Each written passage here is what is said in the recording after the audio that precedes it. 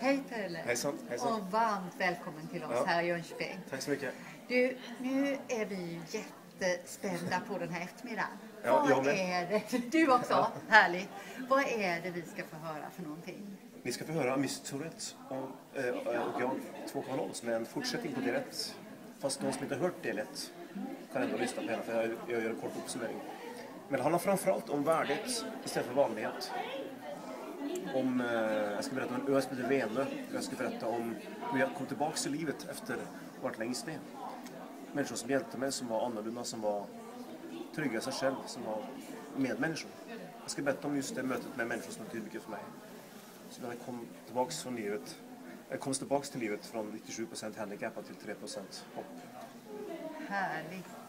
I plus fika. ja, plus I mitten. fika. Inklusive fika. Mycket spännande. Ja. Och det här kommer ju du att också komma igen till oss i Solhaga-gruppen både Ja. i Norrköping, i Malmö Ja. och i Stockholm under hösten. Ja, det är en ja. turné. ja, Medmänsklig turné. härligt. Stör plus ska jag prata om. Stör plus-metoden.